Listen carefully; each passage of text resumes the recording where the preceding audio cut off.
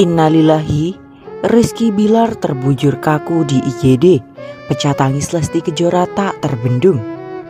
Kabar mengejutkan datang dari Rizky Bilar.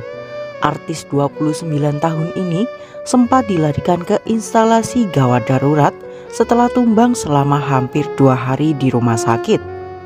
Penggemar dan rekan-rekannya pun dibuat cemas dengan kondisi kesehatannya. Melalui Instagram pribadinya, Rizky Bilar akhirnya memberikan update terkini tentang kesehatannya.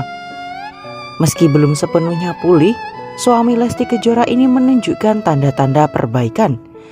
Ia mengatakan sudah bisa kembali beraktivitas kembali seperti biasa. Lebih lanjut, Bilar menjelaskan penyebab dirinya jatuh sakit karena aktivitasnya sangat padat. Ia dan sang istri awalnya berencana mengunjungi Bandung bersama Lesti pukul 4 waktu Indonesia Barat setelah sebelumnya dari puncak Bogor.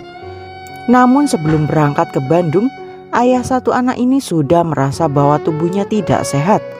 Namun ia tetap memaksakan pergi karena tidak enak dengan penggemar Lesti yang sudah menunggu di lokasi acara.